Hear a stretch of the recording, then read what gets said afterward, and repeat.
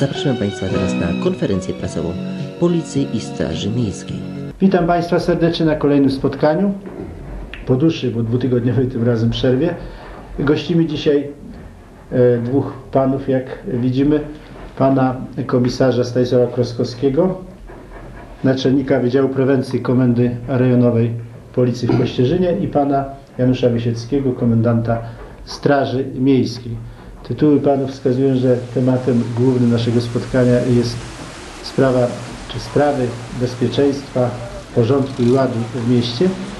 A obu panów zaprosiłem dlatego, że między nimi od pewnego czasu jest formalna współpraca między e, obiema tymi mm, organami, że tak powiem, myślę o Policji i Straży Miejskiej.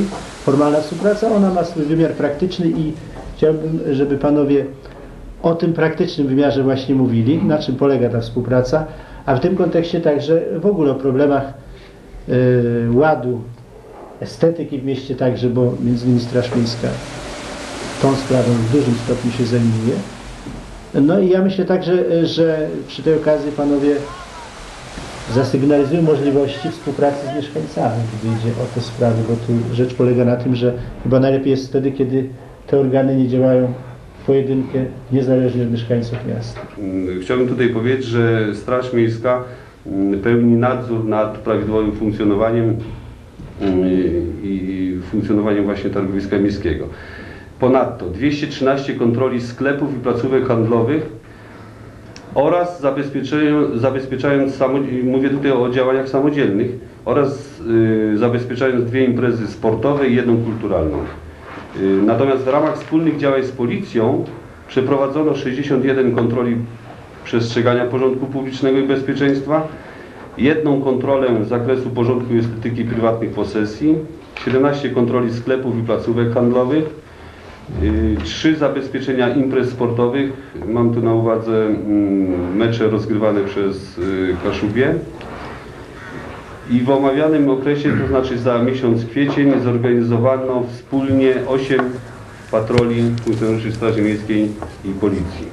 Y, Upomnienie, nagana, grzywna to są y, kary przewidziane w kodeksie wykroczeń, prawda? I, I ja osobiście traktuję pouczenie jako tą najbardziej łagodną y, metodę perswazji, zwrócenia uwagi, przypomnienia o jakimś tam obowiązującym porządku. Natomiast upomnienie jest już, y, no już jest karą, tak to nazwijmy. No już, już raz ktoś upomniany, no to, to już musi być świadom tego, że y, w przypadku ponownego wykroczenia, no to już nie będzie to upomnienie, a będzie nagana. W przypadku udzielenia nagany i powtórzenia się tego, tego występku, no to mamy prawo już stosować grzywnę. Wszystko zresztą, proszę Państwa, zależy od y, skali wykroczenia.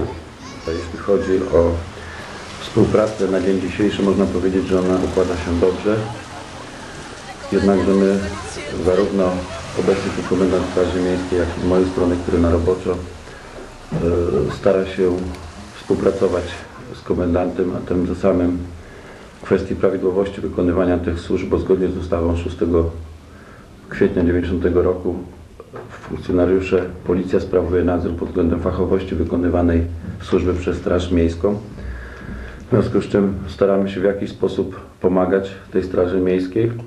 I można powiedzieć to, co powiedziałem na wstępie, że ona się układa dobrze, jednakże liczymy w dwójkę, że ona z biegiem czasu będzie układać się bardzo dobrze. Na pewno nie nikt po roku, ale po miesiącu czy dwóch od razu może być fachowcem w tej dziedzinie. Uważamy, że sami niedawno żeśmy rozmawiali na ten temat, że jeżeli ktoś będzie pracował w Straży Miejskiej powiedzmy 3 lata, to można powiedzieć, że już po tych 3 latach przynajmniej jakimś w części będzie z niego fachowiec wykonywanej swojej pracy. Ta współpraca układa się, można powiedzieć, tak jak wspomniałem, dobrze, chociażby przez wspólne patrole posesyjne, które są dokonywane przez dzielnicowych. Y, W dni newralgiczne dla Kościerzyny, kiedy jest największe zagrożenie, jest to piątek, sobota, niekiedy niedziela, w godzinach, które kolega wcześniej wspomniał, wieczorowo-nocnych. Chodzi o zapewnienie spokoju i ciszy mieszkańcom, żeby dokonywać sprawdzian na bardziej, najbardziej newralgicznych miejsc na terenie miasta.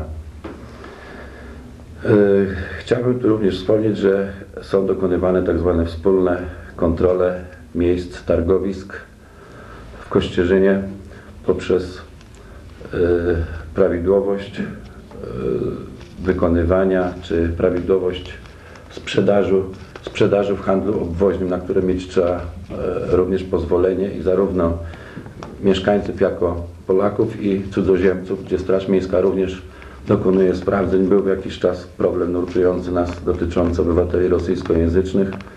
W tej chwili no, jest na bieżąco śledzony zarówno ze strony Straży Miejskiej, jak i Policji i większych problemów na dzień dzisiejszy nie mamy. Ale są one zarówno ze strony Policji, jak i Straży Miejskiej brane pod uwagę i w święta dni targowe, czyli wtorki i piątki są one szczegółowo badane na miejscach. Yy, Wspólne patrole dzielnicowych, co prawda dzielnicowych w rejonie, yy, na terenie miasta Kościerzyny mamy pięciu.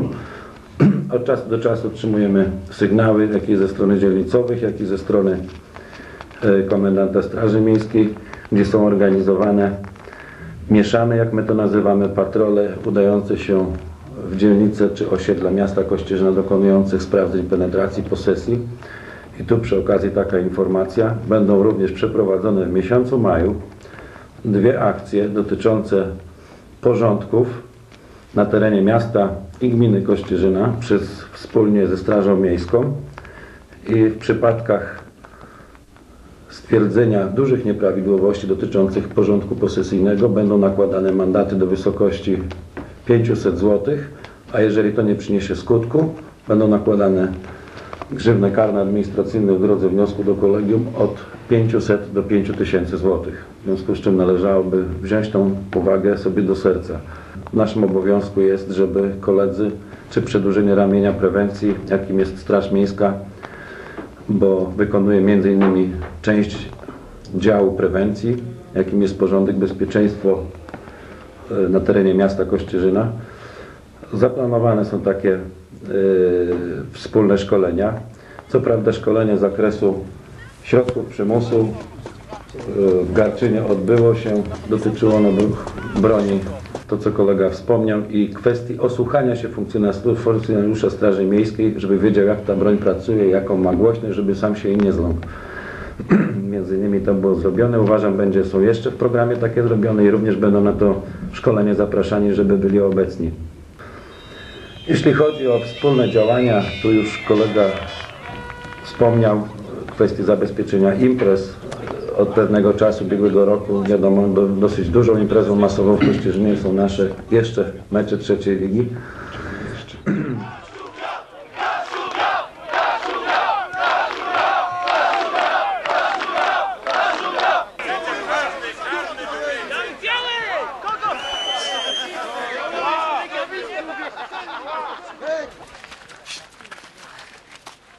Jeszcze trzeciej ligi, także tutaj Straż e, Miejska mocno się angażuje w te zabezpieczenia i mocno przeżywa, podobnie jak policja, żeby to było jak najlepiej, jak najsprawniej. W ocenie mieszkańców jest, czy to nam się udaje, czy też nie. W naszej, w naszej ocenie wewnętrznej uważamy, że robimy wszystko, planując nawet zagrożenia i ściągając dodatkowe siły i środki, które ewentualnie mogłyby zaistnieć w Kościerzynie ekscesy, przykładem czego był mecz Kościerzyna-Arka, gdzie myślę, że policjantów było równie dużo na zabezpieczeniu tym meczu. Dlatego musimy my ze swojej strony nastawić się na najgorsze i zabezpieczyć. Ale uważam, że organizatorzy tego meczu dosyć dobrze przekazują informacje już na miejscu, sygnalizując o e, sankcjach w przypadku zakłócenia ładu i porządku w czasie imprez masowych i odpowiedzialności karnej z tego tytułu, także uważam, że tu w tym przypadku współpraca jest naprawdę idealna, życzyć można by sobie, żeby taka była dalej. Wszystkich nie wyłapiesz. nie? Proszę o wysłuchanie komunikatu zarządu klubu sportowego Maszyni. Wnoszenia na stadion pojemników do rozsylania gazów, butelek, kubków i tym podobnych rzeczy, które są wykonane z, krucheru, z kruchego, pękającego materiału. Przedmiotów pirotechnicznych, drzewców do flag i transparentów, napojów alkoholowych. Po drugie, zakazuje się wchodzenia na obszary, które nie są dopuszczone dla widzów, rzucania wszelkimi przedmiotami, zniecania ognia, zapalania przedmiotów pirotechnicznych i spożywania alkoholu.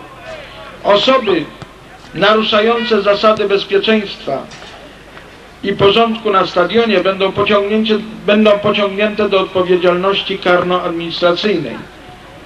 Od następnego meczu alkohol znaleziony przy wchodzeniu na obiekt sportowy będzie konfiskowany. Jeszcze raz Państwu, Państwa uprzejmie proszę o stosowanie się do wymogów porządkowych, ponieważ takie są y, zarządzenia y, Polskiego Związku Piłki Nożnej i Klub Sportowy Kaszubia musi się do tych zarządzeń dostosować. Także uprzejmie proszę pamiętać o tych y, przepisach porządkowych i przestrzegać ich. I w ten sposób y, sędzia główny spotkania, pan Janusz Szynkiewicz, zakończył dzisiejszy mecz pomiędzy Elaną Toruń a Kaszubią Kościerzyna. Wynik 6 do 0 dla Elany. Dziękuję Państwu bardzo za wspólne oglądanie meczu. Zapraszam na następny mecz 13 kwietnia o godzinie 16 z Alką Gdynia, a 6, 6, 6 kwietnia Kaszubia grać będzie na boisku Świeciu w Dął. Początek meczu o godzinie 16. Jeśli chodzi o ustawę wychowania w trzeźwości przeciwdziałania alkoholizmowi, jest to problem z tym, że powiedzmy sobie szczerze, na terenie miasta, a nie tylko miasta i gminy Kościerzynę, ta ustawa jest tak mocno naciągnięta, bo jeżeli ktoś sobie dokładnie spojrzy w tą ustawę, mówi się o pewnych odległościach, pewnych zezwoleniach, w pewnych miejscach, które się nie powinno sprzedawać. Dlatego mówię, jest ona y, w zasadzie sprawdzana, czy realizowana część tej ustawy przez policję poprzez sprawdzanie miejsc jej spożywania, pomieszczenia, lokale gastronomiczne, restauracje spożywania przez młodzież w przypadku, gdy takie y, przypadki się stwierdzi. Informujemy o tym bezpośrednio y, zarówno rodzinę tego młodzieńca czy tej osoby, tego nieletniego, jak i szkołę. Dobrze w tym zakresie nam się układa współpraca w przypadkach stwierdzonych z dyrekcją y, zespołu szkół numer 1 u pana dyrektora Kurowskiego, tak?